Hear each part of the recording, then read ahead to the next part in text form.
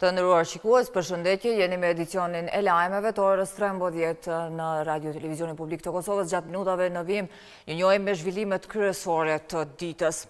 Nesër fillon muaji i Ramazanit. Me këtë rast, kryetari i Bashkësisë Islame të Kosovës Myftiu Naim Tërnava, në mesazhin e tij drejtuar besimtarëve musliman, ka bërë thirrje për respektim të masave anti-Covid. Ndjekim bashkë një pjesë të mesazhit nga Myftiu Tërnava. Ramazani është muaji i cili përveç të tjerash dallohet edhe me ibadetin e agjërimit e i cili kryhet vetëm për hir të Krijuesit të gjithësisë, Allahut xhelle shanuhu, dhe vetëm Ai për këtë do të shpërblejë besimtarin me shpërblime të veçanta. Përmes agjërimit të muajit të madhëruar Ramazan, Besimtarët muslimanë në mënyrën më të përsosur manifestojnë ndjesinë e besimit në Zotin, përgjegjësinë për t'i ndjekur e zbatuar urdhrat e mësimet e Tij, si dhe gatishmërinë për të sakrifikuar me përkushtimin e vetëm për Krijuesin e gjithësisë. Ramazani është muaji në të cilin filloi të zbresë Kur'ani fisnik Është muaj i paqes, mëshirës e bamirësisë. Qëllimi i agjërimit nuk është vetëm heqja dorë nga ngrënia e pirja, nuk është për qëllim vetëm uria, por qëllimi i agjërimit është individi, familja e shoqëria, njohja e mësimeve e udhëzimeve hyjnore, bërja e njeriut më të përgjegjshëm ndaj jetës në këtë botë, si dhe të ndikojë në formimin e një shoqërie sa më të drejtë, më të përgjegjshme e më të lumtur me nimetet që Krijuesi i ka dhënë në këtë botë. Këto vlera të muajit të bekuar Ramazan dhe ibadeti i agjërimit marrin peshë edhe më të madhe në kohën tonë, kur njerëzimi është tunduar nga materialja dhe dinamika e jetës dhe sikur ka lënë pas dore shpirtëroren e humanen. Njerëzimi sot ka nevojë më shumë se kurrë për mësimet dhe vlerat që jep agjërimi i Ramazanit.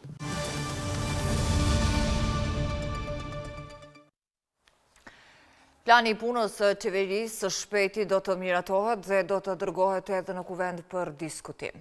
Kështu tha kryeministri Albin Kurti, i cili ka njoftuar se gjatë ditëve të fundjavës, së bashku me anëtarët e kabinetit qeveritar, është diskutuar për programin qeverisës, i cili sipas tij do të përmbushë kërkesat e qytetarëve. Kurti tutje ka shkruar se qëllimet strategjike, objektivat operacionale dhe masat që do të ndërmerren u prezantuan dhe u shqyrtuan gjerësisht.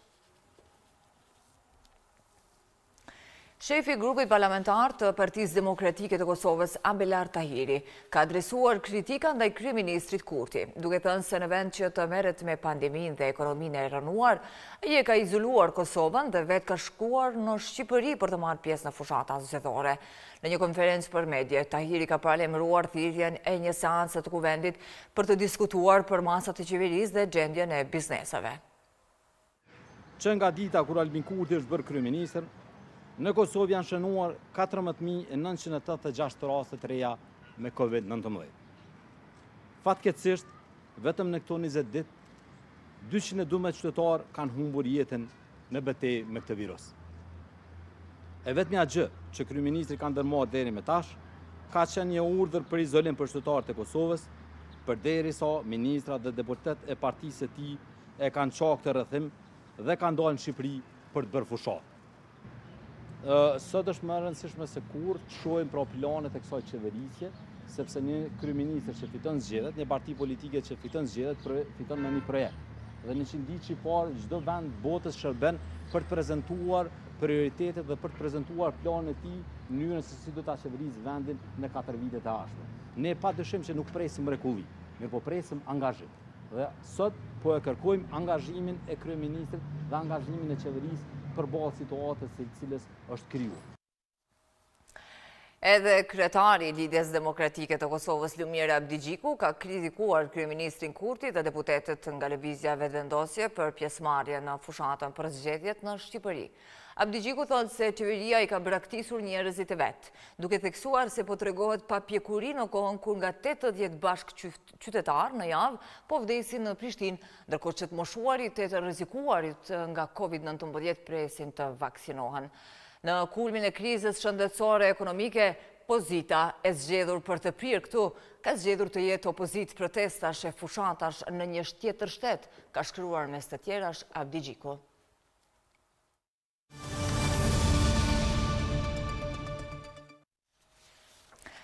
Pas pushimit pranveror, sot ka filluar periudha e tretë e vitit shkollor. Për shkak të pandemisë COVID-19, klasat nga e 6 deri në të 12-ën do të zhvillojnë mësimin online, kurse nga klasa e parë deri në klasën e 5, nxënësit do të rikthehen në bankat shkollore. Raportohet se masat parandaluese të COVID-19, siç janë maskat, distanca dhe higjiena, janë duke u respektuar. Ndërkohë ministrja e Arsimit Arbërie Nagavci ka treguar se të gjitha shkollat në Kosovë janë dezinfektuar. Sipas saj, mësimdhënia online po vazhdon të përballet me vështirësi të ndryshme, por megjithëkëtë, ajo duhet të ketë edhe avantazhet e veta. Sindikata e Bashkuar e Arsimit, Shkencës dhe Kulturës po kërkon nga qeveria që ta ketë në prioritet vaksinimin e mësimdhënësve. Kreu i kësaj sindikate, Rrahman Jasharaj, thotë se këtë nuk po e kërkojnë vetëm që t'jenë të privilegjuar, por që të vazhdojë procesi mësimor në objektet shkollore. Ne edhe gjatë qeverisë Hoti kemi bërë apel publik përmes mediave të nderuara që qeveria mos ta lënë në grupin e dytë, por ta vënë në primar vaksionimin. Edhe në takimin që kishim me ministrin Vitia e kemi hapur këtë çështje edhe ministri Vitia ka thënë se po pret një ardhje të një kontingjenti në emër të donacionit të vaksinave që janë të pranueshme për Republikën e Kosovës dhe na ka premtuar se do të bëjë Të gjitha angazhimet nëse lejojnë mundësitë dhe kapacitetet e, kam fjalën te numri i vaksinave, që pas të moshuarve, siç parashihet me atë manualin, t'i jepet përparësi punëtorëve në sektorin e arsimit. Këtë kërkesë ne nuk e kemi bërë që të jemi të privilegjuar, por po them që mësimdhënësit jenë ma të mbrojtur me vaksinë dhe pastajt me këtë mbrojtje do të ishim ma të sigurt se ata do të jenë në shkolla dhe procesi mësimor dhe këtë vit shkollor do ta përfundojnë në shkolla.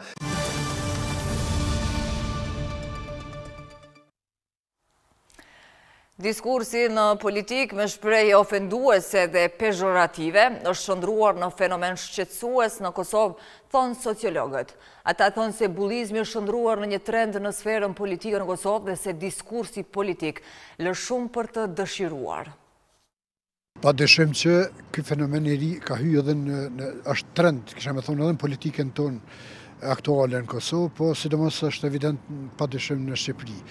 Në këtu tek ne mund të themi që mund të manifestohet si si si pozicionim i politikanëve të cilët duke shfrytëzuar statusin dhe beneficionet e tyre publike bëjnë prononcime të cilat mund të jenë të damshme, mund të jenë irrituese, mund të jenë, si të themi, një shmang, një lloj shmangie nga ai standardi i cili është në jetën e përditshme. Diskursi, siç e ceka edhe më herët, është shumë në nivel të ulët. Një farë mënyre shpeshherë edhe debatet televizive shndërrohen në emisione irrituese, për mendimin tim, sepse si mund të zhvillohet një debat kur lere që nuk kuptohet asgjë nga debatuesit dhe panelistët, mirëpo përveç kësaj përdoret edhe gjuhë, e cila gjuhë nuk, nuk ish dasht me u përdor. Agjencia Shtetërore e Arkivave e Kosovës ka hapur ekspozitën Vullkani i Republikës për nder të dyzetvjetorit të demonstratave të vitit një mijë e nëntëqind e tetëdhjetë e një. Gjithashtu, ky institucion në sheshin Zahir Pajaziti në Prishtinë ka hapur edhe ekspozitën shtatëdhjetë vjet arkiv. Në këto dy ekspozita shihen dokumentarë të vjetër që paraqesin vlerat dhe fragmentet të aktgjykimeve të ndryshme që organet gjyqësore të kohës u kanë shqiptuar organizatorëve të demonstratave. Të nderuar shikues, do të lidhemi tani drejtpërdrejt me konferencën e thirur nga Ministria e Arsimit. Ashtu siç shumë nga ju mund të jeni në njohuri, sot ka filluar periudha e tretë e vitit shkollor dy mijë e njëzet dy mijë e njëzet e një dhe në bazë të vendimit të Qeverisë për masat kundër pandemisë Covid nëntëmbëdhjetë, mësimi për disa nivele të shkollave po organizohet me pjesëmarrje fizike të nxënësve, gjegjësisht në edukimin e hershëm, në kopshte dhe në çerdhe, në nivelin zero dhe në gjitha klasat Një deri në pesë, mësimi po zhvillohet me pjesëmarrjen fizike të nxënësve në shkolla, duke respektuar të gjitha masat e rekomanduara nga organet kompetente si Instituti Kombëtar i Shëndetit Publik dhe Ministria e Shëndetësisë. Sipas informatave që i kemi në ministri, pra informatave nga drejtoritë komunale të arsimit, në ditën e sotme mësimi ka filluar në të gjitha shkollat, në të gjitha komunat e Republikës së Kosovës, me përjashtim të fshatit Gushavc të Mitrovicës, ku në njërën nga shkollat mësimi do të vazhdojë nesër për shkak të nxënësit do të vazhdojnë mësimin në shkollën Ismail Qemali. Dhe aty po fillohet, po punohet sot me skenarin C për shkak se duhet të sigurohet transporti i nxënësve që sipas njoftimeve të Drejtorisë Komunale në Mitrovicë kjo do të realizohet prej ditës së nesërme. Në anën tjetër për klasat gjashtë deri në nëntë, gjegjësisht për shkollën e mesme të ulët dhe për shkollën e mesme të lartë klasat dhjetë deri në dymbëdhjetë, mësimi po zhvillohet online. në dhe do të vazhdojë në këtë mënyrë gjatë gjithë kësaj jave. Sipas informatave që kemi nga drejtoritë komunale, mësimi po zhvillohet sipas këtij skenari, pra me mësim në distancë, në të gjitha shkollat e komun në gjitha komunat e Republikës së Kosovës. Komunat kanë raportuar se është kryer po ashtu pjesa e dezinfektimit të objekteve shkollore në të gjitha shkollat, ashtu siç ka qenë edhe vendimi që e kemi marrë bashkë me drejtorët komunalë të arsimit në mbledhjen e fundit të mbajtur me datën gjashtë të këtij muaji. Sa i përket pajisjeve teknologjike, ashtu siç mund të jeni në njohuri, Ministria e Arsimit ka ndërmarrë të gjitha masat që të ofrojë një qasje të gjithë fëmijëve në mësimin online, dhe përpos pjesëmarrjes në mësimin online nëpërmes të platformave të ndryshme, siç është e-Shkollori, në platformën Zoom e kështu me radhë, për klasën gjashtë deri në nëntë, të gjitha njësitë mësimore transmitohen nëpërmes të kanalit publik të RTK-së dhe po ashtu njësitë mësimore janë të publikuara edhe në webfaqen e Ministrisë arsimit. Në këtë formë, për këto nivele të shkollimit do të vazhdohet në këtë javë. Sigurisht se ne do të përcjellim se si po shkon situata me pandeminë dhe për javën e ardhshme do të merret vendimi bashkërisht se si është rekomandimet nga organet kompetente, por edhe në dakordim me drejtoritë komunale të secilave komuna, duke pas parasysh rrethanat specifike në secilën prej komunës.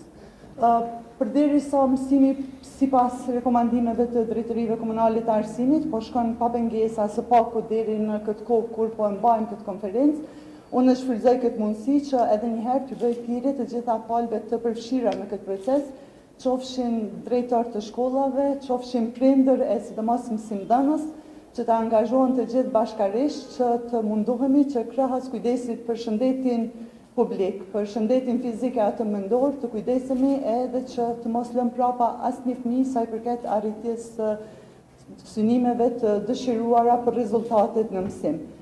Ky vit me pandeminë nuk ka qenë i lehtë, unë jam e vetëdijshme për sfidat që i kanë mësimdhënësit në organizimin e mësimit online, por po ashtu besoj që me angazhimin e të gjithëve do të arrijmë më të mirën e mundshme dhe këtë duhet ta arrijmë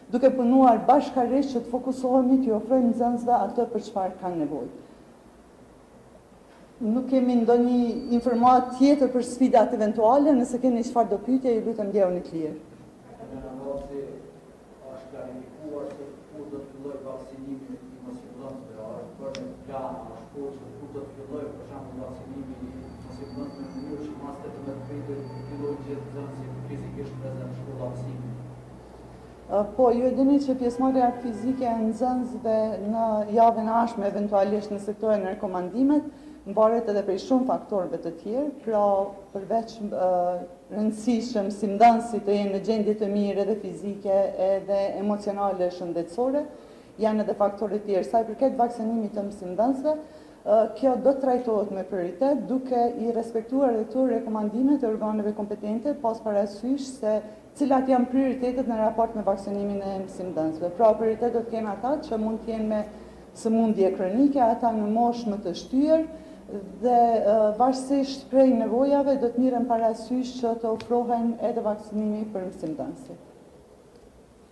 Nëse dikush tjetër ka ndonjë pyetje?